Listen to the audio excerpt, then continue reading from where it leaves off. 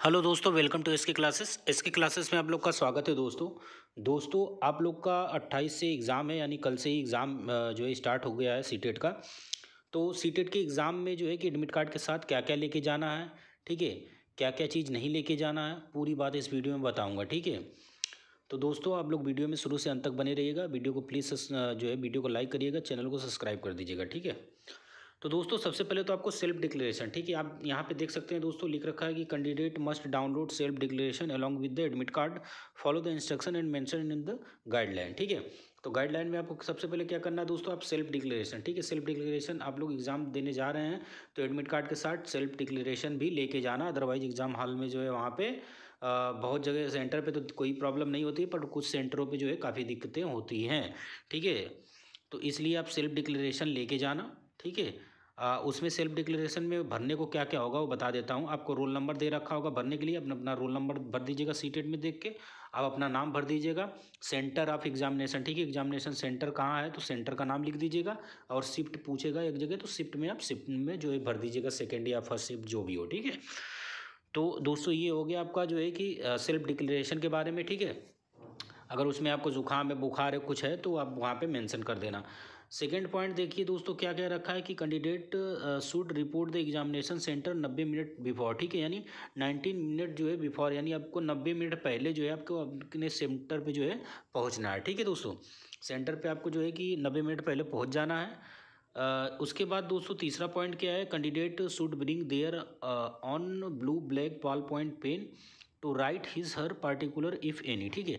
यानी दोस्तों, आपको जो है कि ब्लू ठीक है? ब्लू और ब्लैक बॉल पॉइंट पेन लेके जाना है, ठीक है? एक्चुअली वहाँ पे आप जानते हैं कि होगा तो ऑनलाइन पेपर ही होगा, ठीक है? बट ये इसलिए है कि अगर कोई इन्फॉर्मेशन भरनी पड़ी तो आपके पास आपका पेन होना चाहिए, ठीक है? इसलिए आप blue black ball point pen जो है आप लेके चले जाना, ठीक है? अपने साथ। चौथा पॉइंट क्या कह रहा है दोस्तों? तो यहाँ पे चौथा पॉइंट देख लेते हैं। Candidate without having proper admit card and original ID proof ठीक है? यानी आपके पास आपकी ओरिजिनल आईडी प्रूफ होनी चाहिए, जैसे ड्राइविंग लाइसेंस जो भी आप लेके जा सकते हैं driving licence PAN card Aadhaar card ठीक है? उसके साथ दो फ़ोटो ले लेना दोस्तों, दो फ़ोटो लेके जाना कभी कभी होता है फ़ोटो मैच नहीं करता है, इस वजह से दो फ़ोटो अपने साथ किसी भी एग्ज़ाम में आप लेके जाया करें, ठीक है? दो फ़ोटो हो गया और आपका ओरिजिनल आईडी से आधार हो गया पेन हो पैन कार्ड हो गया, ठीक है? और उसके बाद जो है दोस्तों, आप देख सकते हैं कि एडमिट कार्ड ठीक है? यानी एडमिट कार्ड के साथ ओरिजिनल आईडी प्रूफ जैसे Aadhaar card PAN card driving licence जो भी आप भरे थे फॉर्म में, वो लेके जाना है और आपको दो फ़ोटो साथ में लेके जाना है, ठीक है? ये हो गया चौथा पॉइंट अब देखिए दोस्तों, यहाँ पे पाँचवा पॉइंट क्या है? ठीक है, पाँचवा पॉइंट क्या कह रहा है? Candidate shall not be allowed to leave the examination hall before the conclusion of examination यानी एक बार एग्जामिनेशन हॉल में आप घुस जा मतलब चले जाते हैं तो आप जो है पेपर देने के बाद ही बाहर वापस आएँगे अदरवाइज़ उससे पहले आपको वापस नहीं आने दिया जाएगा, ठीक है?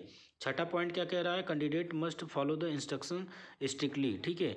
यानी जो इन्होंने जो इंस्ट्रक्शन दिया है, उसको आपको फॉलो करना है अदरवाइज़ वहाँ पर जाके दिक्कतें हो सकती हैं। उसके बाद दोस्तों, आठवां पॉइंट क्या है कि candidate are advise to visit their allotted examination centre one day before ठीक है? यानी एक दिन पहले, उनका कहना है कि एक दिन पहले आप जो है अपने सेंटर के आसपास जाके कहीं भी आप जो है किसी जैसे रिलेशन हो, कहीं रिलेशनशिप में हो गया, ठीक है, या कहीं होटल लेके आप रुकें, ताकि आपको सेंटर ढूँढने में कोई प्रॉब्लम ना हो, ठीक है? क्योंकि थोड़ा भी लेट होगा तो एग्ज़ाम सेंटर से जो है बाहर कर दिया जाएगा, ठीक है? आपको एग्ज़ाम नहीं देने दिया जाएगा। नवा पॉइंट क्या कह रहा है दोस्तों? ये नवा पॉइंट जो है कि जैसे candidate suffering from the diabetes are to allow to carry the examination hall जो है यहाँ पे इटाबल जो लाइक शुगर टैबलेट ठीक है? यानी आपको डायबिटीज़ डायबिटीज़ वगैरह वगैरह है तो आपको शुगर टैबलेट हो गया, ठीक है? चॉकलेट कैंडी फ्रूट्स ठीक है? Banana apple orange snack item like sandwich transparent जो है ट्रांसपेरेंट पॉली बैग ठीक है? पॉलीथीन में जो है, जो ट्रांसपेरेंट होती है उसमें आप लेके जा सकते हैं अपनी टैबलेट दवाएँ ववाएँ की, ठीक है? उसके लिए आपको कोई दिक्कत नहीं होगी, आप लेके जा सकते हैं, ठीक है? तो दोस्तों, उसके बाद दसवां पॉइंट क्या दे रखा है, CTET unit upload, CTET related information at its website, ठीक है? नहीं, इस वेबसाइट पे जो है, हमेशा आप जो है अपडेट रहिएगा तो जब आपका एग्ज़ाम हो जाएगा, उसके बाद आंसर की आएगी, आंसर की के बाद रिज़ल्ट आएगा, सब इसी वेबसाइट पे बताया जाएगा। तो आई होप, दोस्तों, आप लोग को सब कुछ समझ में आ चुका है, ठीक है? यहाँ पे आप देख सकते हैं एक पॉइंट यहाँ पे सीधे सीधे क्या लिख रखा है कि यहाँ पे है कैंडिडेट मस्ट कैरी क्या लेके जाएँगे? डाउनलोड एडमिट कार्ड ठीक है? वन फ़ोटो आईडी प्रूफ ठीक है? पैन कार्ड आधार कार्ड आप देख सकते हैं यहाँ पे PAN card Aadhaar card passport जो है पासपोर्ट साइज़ पासपोर्ट हो गया, फिर ड्राइविंग लाइसेंस हो गया, उसके बाद वोटर आईडी कार्ड हो गया, ठीक है? बाल पॉइंट पेन आपको लेके जाना ब्लू एंड ब्लैक उसके बाद सैनिटाइजर लेके जाना है दोस्तों, ठीक है? सैनिटाइजर बोतल पचास एम का, मास्क आपके पास होनी चाहिए, ठीक है? मास्क भी होना चाहिए। तो मास्क हो गया, ठीक है? वाटर बोतल ट्रांसपेरेंट होना चाहिए, ठीक? तो आप देख सकते हैं कि सैनिटाइजर लेके जाना, मास्क मास्क ज़रूर लेके जाना दोस्तों, ठीक है?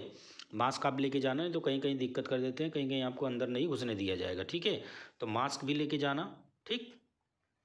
ये तीन चार चीज़ दोस्तों आप ध्यान रखना। फिर से बता देता हूँ एडमिट कार्ड के साथ कोई भी आईडी प्रूफ फ़ोटो कार्ड जो है कि जैसे पैन कार्ड हो गया आधार कार्ड हो गया उसके साथ दो फ़ोटो ले लेना आप। अगर फ़ोटो मैच नहीं हो, होता है इस वजह से दो फ़ोटो मांगा जाता है ठीक है? वाटर बोतल ठीक है पानी का बोतल आपका ट्रांसपेरेंट होना चाहिए आधा लीटर का। इसमें जो है सैनिटाइजर ट्रांसपेरेंट बोतल में सैनिटाइजर आपका होना चाहिए और मास्क ठीक है? मास्क भी आपको लेके जाना है ठीक है? मास्क आप ज़रूर ले लेना, पेन भी ले लेना, एक ब्लू ब्लू या ब्लैक बॉल पॉइंट पेन हो गया, ठीक है? तो दोस्तों, ये सब चीज़ें फिर लिख रखा है कि only permitted item allowed in the examination centre the centre will not be responsible for the जो है safe custody of barred item ठीक है? यानी ये चीज़ें आपको लेके जाना है। इसके अलावा एग्ज़ाम हाल में जो है, कोई भी चीज़ें आपको नहीं ले जाने दिया जाएगा, ठीक है? उसके बाद दोस्तों आपको यहाँ पे दे रखा है कि list of the barred item which जो है नॉट अलाउड इन एग्जामिनेशन क्या क्या एग्जामिनेशन हॉल में? नहीं लेके जाना आपको। तो आप देख सकते हैं यहाँ पे लिख रखा है, कोई बुक हो गया नोट्स हो गया विट्स पेपर हो गया, आपका जो है जियोमेट्री पेंसिल बॉक्स वगैरह वगैरह, ठीक है? ये सब चीज़ें आपका वॉच हो गया, ठीक है? वॉच वगैरह वगैरह हो गया मोबाइल फ़ोन ये सब चीज़ें आपका एग्जामिनेशन हॉल में कोई भी इलेक्ट्रॉनिक सामान नहीं जाएगा, ठीक है? तो आई होप आप लोग को सब कुछ समझ में आ गया दोस्तों। तो प्लीज़ चैनल को सब्सक्राइब करना वीडियो को लाइक करना वीडियो को शेयर करना। जय हिंद दोस्तों, जय भारत।